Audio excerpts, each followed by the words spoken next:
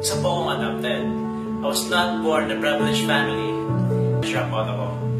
I tend to dwell on negative moods of life. I just simply love adventure.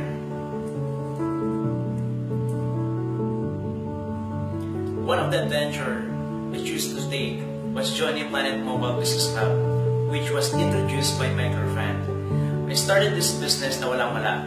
Walang pera, walang skills, and it really took me very hard to build network and to earn big. When I studied network marketing industry, sineryoso ko na talaga. By listening to those people who are already there, watching videos on the internet, reading books, associating myself with successful people, at doon na nasimula yung networking career ko.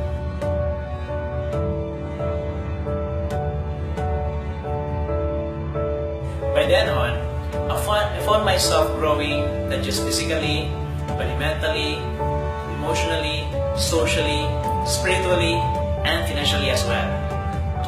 I am very thankful to the people who opened my consciousness to this life. Thank you, Uncle Jeff Ramos, for the guidance. Kahit minsan hanggang simulo ko. And thank you, Sir Noel and Ma'am Janet. You gave us a diamond that made us shine.